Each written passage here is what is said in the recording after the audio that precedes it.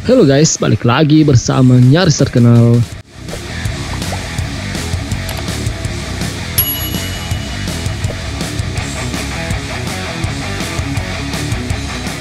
Iran mengincar reaktor nuklir di Mona di Israel sebagai target serangan rudal jika perang benar-benar pecah.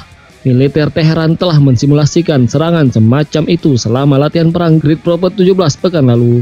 Kantor berita Fars yang berafiliasi dengan Korps Garda Revolusi Islam Iran menerbitkan sebuah video yang menunjukkan tiruan dari situs nuklir di Mona sebagai target operasi simulasi.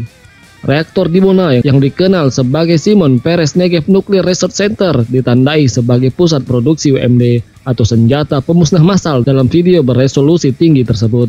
Sebanyak 16 rudal balistik dan 5 drone bunuh diri diluncurkan terhadap target tiruan dalam operasi simulasi oleh militer Iran. Ketegangan terus memanas antara Iran dan Israel dalam beberapa pekan terakhir ketika perundingan nuklir antara Teheran dan negara-negara kekuatan dunia terhenti di Wina.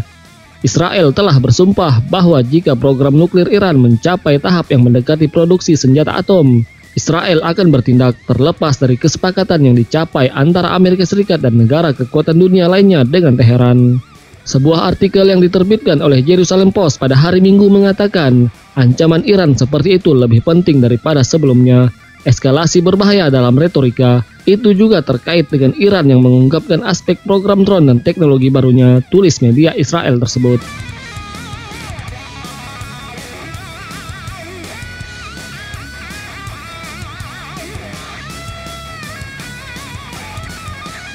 Kembali pada Januari 2012, media Israel melaporkan bahwa Komisi Energi Atom Negara Yahudi itu telah memutuskan untuk menutup sementara reaktor nuklir di Mona dengan alasan utama kerentanan terhadap serangan dari Iran.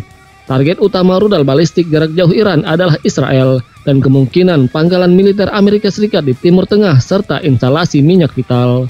Israel memiliki salah satu sistem pertahanan rudal paling terkonsentrasi di dunia yang dikenal sebagai Iron Dome. Pangkalan Amerika juga dipertahankan oleh sistem pertahanan rudal Patriot dan sistem pertahanan rudal lainnya.